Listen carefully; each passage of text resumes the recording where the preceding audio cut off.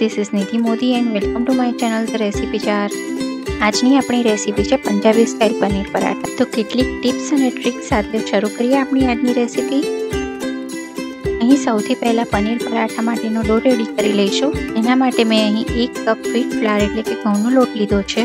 ત્યારબાદ તેમાં સ્વાદ પ્રમાણે મીઠું એડ કરવાનું છે. હવે તેમાં બે ટેબલ સ્પૂન ઘી એડ કરી લઈ અને બધું બરાબર મિક્સ કરી લઈશું.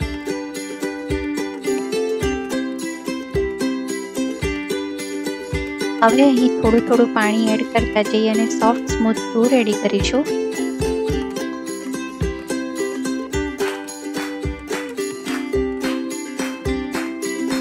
હવે અહીં એક ટીસ્પૂન જેટલું ઓઇલ એડ કરી અને લોટને મસળી લેવાનો છે.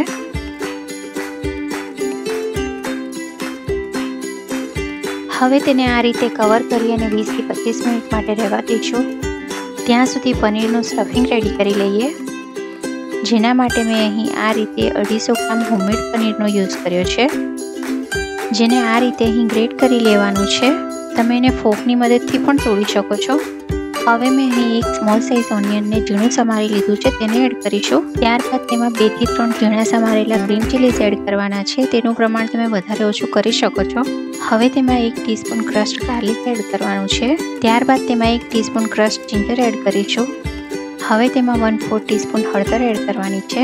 હવે તેમાં half tablespoon red chilli powder add કરીશું. ત્યારબાદ તેમાં એક ટીસ્પૂન ધાણા જીરું પાવડર એડ કરવાનો છે.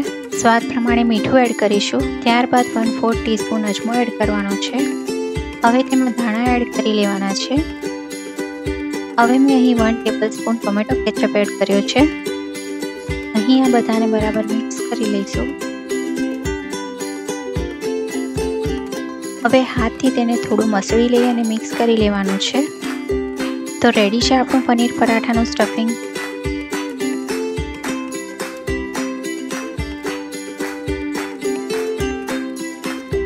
હવે અહીં ડોમાંથી આ રીતે બોલ રેડી કરી લેવાના છે.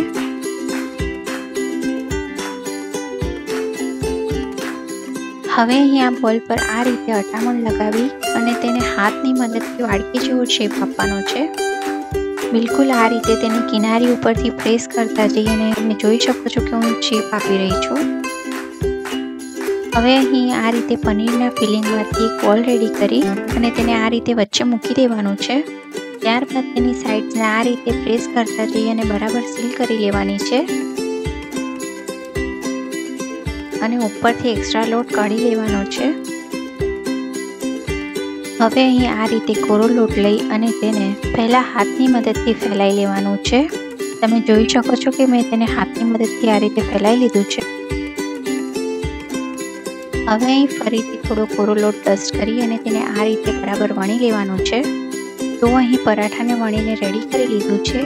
ચાલો હવે તેને ગરમ તવી ઉપર શેકી લઈએ.